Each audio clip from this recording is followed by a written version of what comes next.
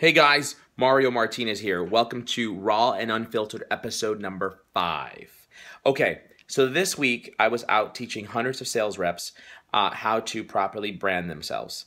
And a couple of questions came up that surrounded how do I, uh, how is the SSI, LinkedIn Social Selling Index score calculated? Uh, and so we're going to do a couple part series uh, of videos or a, couple series of videos. How about that? A couple series of videos that go over the different segments of how your SSI is calculated. First part, let's talk about how the first part is calculated. Now, that first part is creating a professional brand. That's uh, part uh, one of four to calculate your social selling index score as um, given by LinkedIn.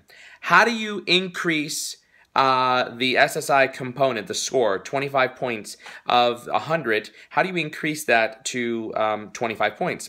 Couple things you got to do. Number one, they give you points based upon how complete your profile is. So that's the first thing you got to be thinking about. Number two, this is very important. Do you have multimedia that is embedded into your profile? Into your summary, into your experience section, into your publications, into your project section.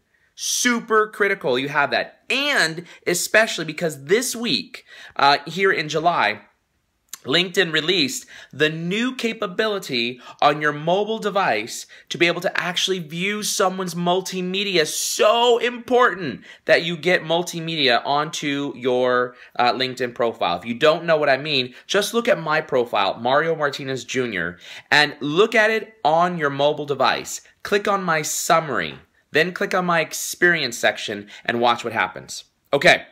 The next thing you got to do to be able to create a professional brand and raise that score to 25 points is you need to make sure that you have all of your skills and endorsement sections uh, section filled out. You get up to 50 skills and endorsements that is get that that uh, LinkedIn allows you to be able to have. And if you don't fill in that section, LinkedIn will start automatically doing it for you. So, fill it in. And then hopefully interact, socially engage with your network so that they're actually endorsing you and that you are endorsing others. Okay? That's very important. The last piece of how you create your professional brand and raise that portion of your SSI score is uh, uh, the one. The last piece you want to be thinking about is uh, using long form posts and then creating followers as a result of the content that you're driving. So if you're below 25 points, uh, the, the, you get a total score of 25 points for creating professional brand, one of four segments uh, for your SSI. If you're below and you're missing any one of those elements I just referenced, then do those things and your score will begin to jump up uh, and hopefully up to 25 points. So in review, how complete is your profile? Make sure you got that little blue circle on the far right hand side of your screen that shows All Star um, uh, profile. Uh, I have seen it once before, just once, that someone actually had a yellow bubble and it was expert. It's really cool. Then the other thing you want to do is, is have multimedia on your profile. Make sure you have a profile picture as well as a banner.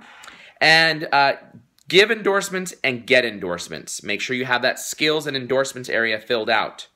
And then the last and final thing is uh, publish long form blog posts using the publishing platform on LinkedIn and uh, attempt to uh, drive your follow drive followers and drive connections from that.